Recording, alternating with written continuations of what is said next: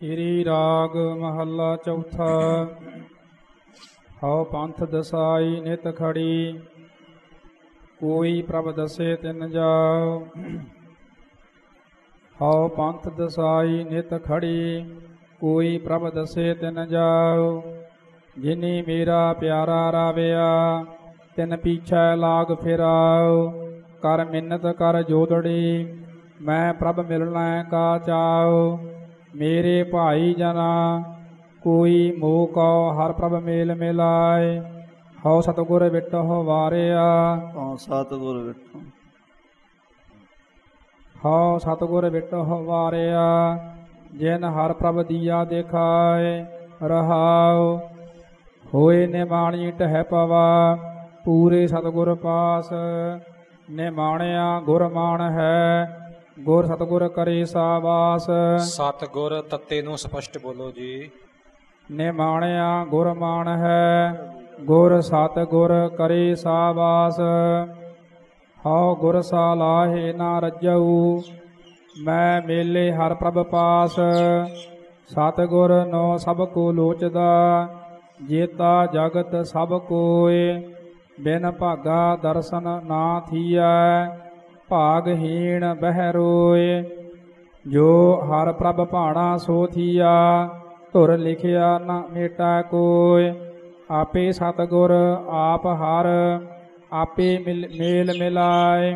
ਆਪੇ ਮਿਲ ਆਪੇ ਸਤਗੁਰ ਆਪ ਹਰ ਆਪੇ ਮੇਲ ਮਿਲਾਏ।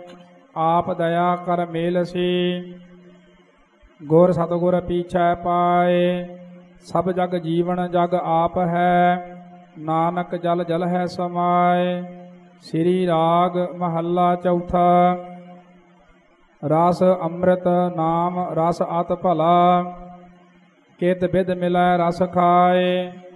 ਜਾਏ ਪੁੱਛੋ ਸੁਹਾਗਾਣੀ, ਤੁਸਾ ਕਿਉ ਕਰ ਮਿਲਿਆ ਪ੍ਰਭ ਆਏ। ਓਏ ਵੇ ਪ੍ਰਵਾਹ ਨਾ ਬੋਲਣੇ, ਹਉ ਮਲ ਮਲ ਧੋਵਾ ਦਿਨ ਪਾਏ। ਭਾਈ ਰੇ, ਮਿਲ ਸੱਜਣ ਹਰ ਗੁਣ ਸਾਰ। ਸੱਜਣ ਸਤਗੁਰ ਪੁਰਖ ਹੈ, ਦੁਖ ਕੱਢੈ ਹਉ ਮੈਂ ਮਾਰ, ਰਹਾਉ। ਗੁਰਮੁਖੀਆ ਸੁਹਾਗਾਣੇ ਤਿਨ ਦਇਆ ਪਈ ਮਨ ਆਏ। ਸਤਗੁਰ ਵਚਨ ਰਤਨ ਹੈ, ਜੋ ਮੰਨੇ ਸੋ ਹਰ ਰਸ ਖਾਏ। ਸੇ ਵਡ ਭਾਗੀ ਵਡ ਜਾਣੀਆ ਹੈ ਜਿਨ ਹਰ ਰਸ ਖਾਦਾ ਗੁਰ ਭਾਏ, ਇਹੋ ਹਰ ਰਸ ਵਣ ਦਿਨ ਸਬਤ ਹੈ ਭਾਗਹੀਣ ਨਹੀਂ ਖਾਏ। ਬਿਨ ਸਤਗੁਰ ਪੱਲੇ ਨਾ ਪਵੈ, ਮਨ ਮੁਖ ਰਹੇ ਬਿਲ ਲਾਏ। ਓਏ ਸਤਗੁਰ ਆਗੈ ਨਾ ਨਿਵਹੈ ਉਹਨਾਂ ਅੰਤਰ ਕ੍ਰੋਧ ਬਲਾਏ। ਹਰ ਹਰ ਹਰ ਰਸ ਆਪ ਹੈ, ਆਪੇ ਹਰ ਰਸ ਹੋਏ। ਆਪ ਦਇਆ ਕਰ ਦੇਵਸੀ ਗੁਰਮੁਖ ਅੰਮ੍ਰਿਤ ਚੋਏ, ਸਭ ਤਨ ਮਨ ਹਰਿਆ ਹੋਇਆ। ਨਾਨਕ ਹਰ ਵਸਿਆ ਮਨ ਸੋਏ, ਸ੍ਰੀ ਰਾਗ ਮਹੱਲਾ ਚੌਥਾ। ਦਿਨ ਸੁ ਚੜੈ ਫਿਰ ਆਥਵੈ, ਰੈਣ ਸਬਾਈ ਜਾਏ। ਆਵ ਘਟੈ, ਨਰ ਨਾ 부ਝੈ ਨਿਤ ਮੂਸਾ ਲਾਜ ਟੁਕਾਏ। ਨਰ ਨਾ ਬੁੱਝੈ। ਹਾਂਜੀ ਬੁੱਝੈ ਬੁੱਝੈ ਕਸ ਕੇ ਆਮ ਘਟੈ ਆਵ ਘਟੈ ਨਰ ਨਾ 부ਝੈ ਨਿਤ ਮੂਸਾ ਲਾਜ ਟੁਕਾਏ ਗੁੜ ਮਿੱਠਾ ਮਾਇਆ ਪਸਰਿਆ ਮਨ ਮੁਖ ਲਗ ਮਾਖੀ ਪਚੈ ਪਚਾਏ। ਲਗ ਮਨ ਮੁਖ ਲਗ। ਗੁੜ ਮਿੱਠਾ ਮਾਇਆ ਪਸਰਿਆ ਮਨ ਮੁਖ ਲਗ ਮਾਖੀ ਪਚੈ ਪਚਾਏ। ਭਾਈ ਰੇ, ਮੈਂ ਮੀਤ ਸਖਾ ਪ੍ਰਭ ਸੋਏ। ਪੁੱਤ ਕਲਤ ਮੋਹ ਬਿਖ ਹੈ, ਅੰਤ ਬੇਲੀ ਕੋਈ ਨਾ ਹੋਏ। ਹਾਂਜੀ, ਪੁੱਤ ਕਲਤ ਮੋਹ ਬਿਖ ਹੈ। ਕਲਤ ਪਾਠ ਕਰਦਾ ਹੈ, ਕਲਤ ਨਹੀਂ ਹੈ। ਕਈ ਪਾਠਾਂ ਵਿੱਚ ਸ੍ਰੀ ਗੁਰੂ ਗ੍ਰੰਥ ਸਾਹਿਬ ਜੀ ਵਿੱਚ ਤੱਤੇ ਦੇ ਪੈਰ ਰਾਰਾ ਵੀ ਆਉਂਦਾ ਹੈ, ਉਥੇ ਕਲੱਤਰ ਪਾਠ ਹੋਵੇਗਾ। ਇੱਥੇ ਰਾਰੇ ਤੋਂ ਬਿਨਾ ਹੈ, ਕਲਤ ਪਾਠ ਹੋਵੇਗਾ, ਕਲਤ ਪਾਠ ਕਿਤੇ ਨਹੀਂ ਕਰਨਾ। ਹਾਂਜੀ। ਪੁੱਤ ਕਲਤ ਮੋਹ ਬਿਖ ਹੈ, ਅੰਤ ਬੇਲੀ ਕੋਈ ਨਾ ਹੋਏ, ਰਹਾਉ। ਗੁਰਮਤ ਹਰ ਲਿਵ ਉਬਰੇ ਅਲਿਪਤ ਰਹੇ ਸਰਣਾਏ। ਓਨੀ ਚੱਲਣ ਸਦਾ ਨਿਹਾਲਿਆ, ਹਰ ਖਰਚ ਲੀਆ ਪਤ ਪਾਏ। ਗੁਰਮੁਖ ਦਰਗਹਿ ਮੰਨੀਆ ਹੈ, ਹਰ ਆਪ ਲਈ ਗਲ ਲਾਏ। ਗੁਰਮੁਖਾ ਨੋ ਪੰਥ ਪ੍ਰਗਟਾ, ਦਰ ਠਾਕ ਨਾ ਕੋਈ ਪਾਏ। ਹਰ ਨਾਮ ਸਲਾਹਣ ਨਾਮ ਮਨ, ਨਾਮ ਰਹਿਨ ਲਿਵ ਲਾਏ। ਅਨਹਦ ਧੁਨੀ ਦਰ ਵਜਦੇ, ਦਰ ਸੱਚੈ ਸੋਭਾ ਪਾਏ। ਜਿਨੀ ਗੁਰਮੁਖ ਨਾਮ ਸਲਾਹਿਆ, ਤਿਨਾ ਸਭ ਕੋ ਕਹੈ ਸਾਬਾਸ। ਤਿਨ ਕੀ ਸੰਗਤ ਦੇਹ ਪ੍ਰਭ, ਮੈਂ ਜਾਚਕ ਕੀ ਅਰਦਾਸ। ਨਾਨਕ ਭਾਗ ਵੱਡੇ ਤਿਨਾ ਗੁਰਮੁਖਾ, ਜਿਨ ਅੰਤਰ ਨਾਮ ਪਰਗਾਸ। ਸ੍ਰੀ ਰਾਗ ਮਹੱਲਾ ਪੰਜਵਾ, ਘਰ ਪਹਿਲਾ। ਕਿਆ ਤੂੰ ਰਤਾ ਦੇਖ ਕੈ, ਪੁੱਤਰ ਕਲਤਰ ਸੀਗਾਰ। ਰਸ ਭੋਗ ਹੈ ਖੁਸ਼ੀਆ ਕਰ ਹੈ ਮਾਣ ਹੈ ਰੰਗ ਅਪਾਰ।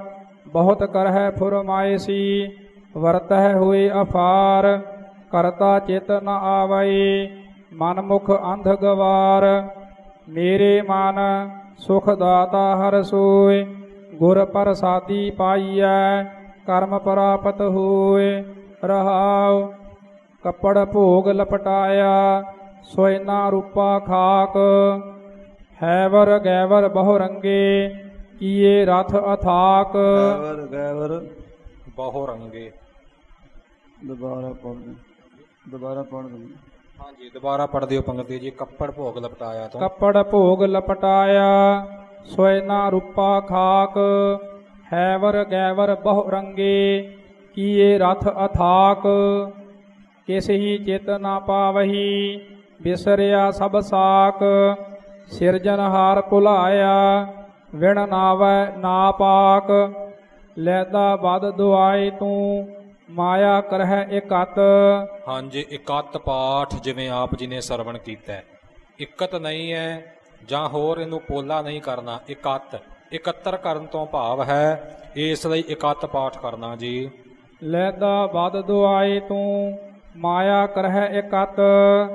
ਜਿਸਨੋ ਤੂੰ ਪਤਿਆਏ ਪਤਿਆਏ ਦਾ ਜਿਸਨੋ ਤੂੰ ਪਤਿਆਏ ਦਾ ਸੋ ਸਾਣ ਤੁਜੈ ਅਨਿਤ। ਅਹੰਕਾਰ ਕਰਹਿ ਅਹੰਕਾਰੀਆ ਵਿਆਪਿਆ ਮਨ ਕੀ ਮਤ।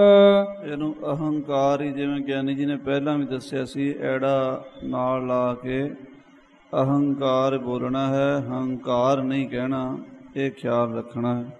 ਅਹੰਕਾਰ ਕਰਹਿ ਅਹੰਕਾਰੀਆ ਵਿਆਪਿਆ ਮਨ ਕੀ ਮਤ। ਤੈਨ ਪ੍ਰਭ ਆਪ ਭੁਲਾਇਆ ਨਾ ਤਿਸ ਜਾਤ ਨਾ ਪਤ। ਇੱਥੇ ਪਤ ਨਹੀਂ ਆਵੇਗਾ। ਜਿਵੇਂ ਪਿਛਲੀਆਂ ਤਿੰਨਾਂ ਹੀ ਪੰਕਤੀਆਂ ਦੇ ਨਾਲ ਅਧਿਕ ਆ ਰਿਹਾ ਹੈ, ਪਰ ਇੱਥੇ ਜਿਹੜਾ ਪਤ ਹੈ, ਇਹ ਪੋਲਾ ਆਵੇਗਾ, ਕਿਉਂਕਿ ਇਹ ਪਤ ਇੱਜ਼ਤ ਦਾ ਇੱਥੇ ਵਾਚਕ ਨਹੀਂ ਹੈ। ਜਾਤ ਨਾ ਪਤ, ਜਾਤ ਪਾਤ। ਸੋ ਇਹ ਪਤ ਇੱਥੇ ਪੋਲਾ ਬੋਲਣਾ ਹੈ ਜੀ, ਜਿਵੇਂ ਗ੍ਰੰਥੀ ਸਿੰਘ ਜੀ ਨੇ ਬੋਲਿਆ ਹੈ। ਤੈਨ ਪ੍ਰਭ ਆਪ ਭੁਲਾਇਆ, ਨਾ ਤਿਸ ਜਾਤ ਨਾ ਪਤ। ਸਤਿਗੁਰ ਪੁਰਖ ਮਿਲਾਇਆ, ਇੱਕੋ ਸੱਜਣ ਸੋਏ, ਹਰ ਜਨ ਕਾ ਰਾਖਾ ਏਕ ਹੈ, ਕਿਆ ਮਾਨਸ ਹਉਮੈ ਰੋਏ, ਜੋ ਹਰ ਜਨ ਭਾਵੈ ਸੋ ਕਰੇ, ਦਰ ਫੇਰ ਨਾ ਪਾਵੈ ਕੋਏ, ਨਾਨਕ ਰਤਾ ਰੰਗ ਹਰ, ਸਭ ਜਗ ਮਹਿ ਚਾਨਣ ਹੋਏ, ਸ੍ਰੀ ਰਾਗ ਮਹੱਲਾ ਪੰਜਵਾ, ਮਨ ਬਿਲਾਸ ਬਹੁ ਰੰਗ ਘਣਾ, ਦ੍ਰਿਸ਼ਟ ਭੂਲ ਖੁਸ਼ੀਆ ਛਤਰ ਧਾਰ ਬਾਦਸ਼ਾਹੀਆ। ਬਾਦਸ਼ਾਹੀਆਂ। ਛਤਰ ਧਾਰ ਬਾਦਸ਼ਾਹੀਆ। ਪਾਠ ਇਕੱਠਾ ਹੈ ਜਿਵੇਂ ਆਪਾਂ ਬਾਦਸ਼ਾਹੀ ਕਹਿੰਦੇ ਆ ਆਮ ਬੋਲ ਚਾਲ ਵਿੱਚ। ਪਾਠ ਵੱਖਰਾ ਨਹੀਂ ਕਰਨਾ ਬਾਦਸ਼ਾਹੀਆਂ। ਛਤਰ ਧਾਰ ਬਾਦਸ਼ਾਹੀਆ ਵਿੱਚ ਸਹਸੇ ਪਰਿਆ ਭਾਈ ਰੇ ਸੁਖ ਸਾਧ ਸੰਗ ਪਾਇਆ। ਲਿਖਿਆ ਲੇਖ ਤਿਨ ਪੁਰਖ ਵਿਧਾਤਾ। ਦੁਖ ਸਹਸਾ ਮਿਟ ਗਿਆ, ਰਹਾਉ, ਜੇਤੇ ਥਾਨ ਥਨੰਤਰਾ, ਤੇਤੇ ਭਵ ਆਇਆ, ਧਨ ਪਾਤੀ ਵੱਡ ਭੂਮ- ਭੂਮੀਆ, ਧਨ ਪਾਤੀ ਵੱਡ ਭੂਮੀਆ, ਮੇਰੀ ਮੇਰੀ ਕਰ ਪਰਿਆ, ਹੁਕਮ ਚਲਾਏ ਨੇ ਸੰਗ ਹੋਏ, ਵਰਤੈ ਅਫਰਿਆ, ਸਭ ਕੋ ਵਸਗਤ ਕਰ ਲਿਓ ਨਾ, ਬਿਨ ਨਾਵੈ ਖਾਕ ਰਲਿਆ, ਕੋਟ ਤੇਤੀਸ ਸੇਵਕਾ ਸਿੱਧ ਸਾਧਕ ਦਰ ਖਰਿਆ ਗਿਰੰਬਾਰੀ ਵੱਡ ਸਾਹਿਬੀ। ਸਾਹਿਬੀ। ਗਿਰੰਬਾਰੀ ਵੱਡ ਸਾਹਿਬੀ। ਇੱਥੇ ਸਾਹਿਬੀ ਸਾਹਿਬੀ ਸਾਹਿਬੀ। ਸੱਸੇ ਨੂੰ ਸਿਆ ਆਵਾਜ਼ ਸੱਸੇ ਨੂੰ ਕਰਨਾ ਹਾਹਾ ਮੁਕਤਾ ਬੱਬੇ ਬਿਹਾਰੀ। ਸਾਹਿਬੀ। ਗਿਰੰਬਾਰੀ ਵੱਡ ਸਾਹਿਬੀ ਸਭ ਨਾਨਕ ਸੁਪਨ ਥੀਆ। ਸ੍ਰੀ ਰਾਗ ਮਹੱਲਾ ਪੰਜਵਾ, ਭਲਕੇ ਉਠ ਪਪੋਲੀਐ, ਵਿਣ ਬੁੱਝੇ ਮੁਗਦ ਅਜਾਣ, ਸੋ ਪ੍ਰਭ ਚਿਤ ਨ ਆਇਓ ਛੁਟੈਗੀ ਬੇਬਾਣ। ਸਤਿਗੁਰ ਸੇਤੀ ਚਿਤ ਲਾਏ, ਸਦਾ ਸਦਾ ਰੰਗ ਮਾਣ। ਪ੍ਰਾਣੀ, ਤੂੰ ਆਇਆ ਲਾਹਾ ਲੈਣ, ਲੱਗਾ ਕਿਤ ਕੁਫਕੜੇ ਸਭ ਮੁਕਦੀ ਚੱਲੀ ਰਹਿਣ ਰਹਾਉ ਹਾਂਜੀ, ਪਾਠ ਆਪਾਂ ਨੇ ਸਰਵਣ ਕੀਤਾ ਕੁਫੱਕੜੇ। ਲੱਗਾ ਕਿਤ ਕੁਫੱਕੜੇ, ਸਭ ਮੁਕਤੀ ਚੱਲੀ ਰਹਿਣ ਕੁਫੱਕੜੇ ਪਾਠ ਸ਼ੁੱਧ ਹੈ। ਇਹਨੂੰ ਕੁਫਕੜੇ ਨਹੀਂ ਕਰਨਾ, ਕੁਫਕੜੇ। ਜਾਂ ਹੋਰ ਕਿਸੇ ਹਿਸਾਬ ਨਾਲ, ਪਾਠੀ ਸਿੰਘ ਨੇ ਜਿਵੇਂ ਉਚਾਰਨ ਕੀਤਾ, ਸਾਰਿਆਂ ਨੇ ਇਸੇ ਪ੍ਰਕਾਰ ਹੀ ਉਚਾਰਨ ਸਮਝ ਲੈਣਾ, ਇਸੇ ਪ੍ਰਕਾਰ ਹੀ ਅੱਗੇ ਆਪਣੀ ਰਸਨਾ ਤੋਂ ਉਚਾਰਨਾ ਜੀ। ਕੁਫੱਕੜੇ ਫੇਰ ਪੜ੍ਹ ਦਿਓ ਜੀ ਪੰਕਤੀ ਇਹ। ਲੱਗਾ ਕਿਤ ਕੁਫਕੜੇ ਸਭ ਮੁਕਦੀ ਚੱਲੀ ਰਹਿਣ ਰਹਾਉ। ਕੁਦਮ ਕਰੇ ਪਸ ਪੰਖੀਆ। ਇੱਥੇ ਕੁਦਮ ਨਹੀਂ ਬੋਲਣਾ ਅਧਿਕ ਨਹੀਂ ਲਗਾਉਣਾ ਕੁਦਮ ਪਾਠ ਪੋਲਾ ਕਰਨਾ।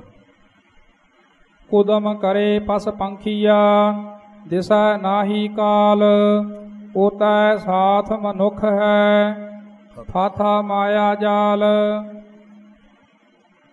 ਓਤੈ ਸਾਥ ਮਨੁਖ ਹੈ, ਫਾਥਾ ਮਾਇਆ ਜਾਲ, ਮੁਕਤੇ ਸੇਈ ਭਾਲੀ ਹੈ, ਜੇ ਸੱਚਾ ਨਾਮ ਸਮਾਲ ਜੋ ਘਰ ਛੱਡ ਗਵਾਵਣਾ, ਸੋ ਲੱਗਾ ਮਨ ਮਾਹੇ, ਜਿਥੈ ਜਾਏ ਤੁਧ ਵਰਤਣਾ, ਤਿਸ ਕੀ ਚਿੰਤਾ ਨਾਹਿ, ਸੇ ਫਾਥੇ ਸੇਈ ਨਿਕਲੇ, ਫਾਥੇ ਸੇਈ ਨਿਕਲੇ ਜੇ ਗੁਰ ਕੀ ਪੈਰੀ ਪਾਹੇ, ਕੋਈ ਰਖ ਨਾ ਸਕਈ, ਦੂਜਾ ਕੋ ਨਾ ਦਿਖਾਏ, ਚਾਰੇ ਕੁੰਡਾ ਭਾਲ ਕੈ, ਆਏ ਪਿਆ ਸਰਣਾਏ, ਨਾਨਕ ਸੱਚੈ ਪਾਤ ਸਾਹ, ਡੁੱਬਦਾ ਲਿਆ ਕਢਾਏ।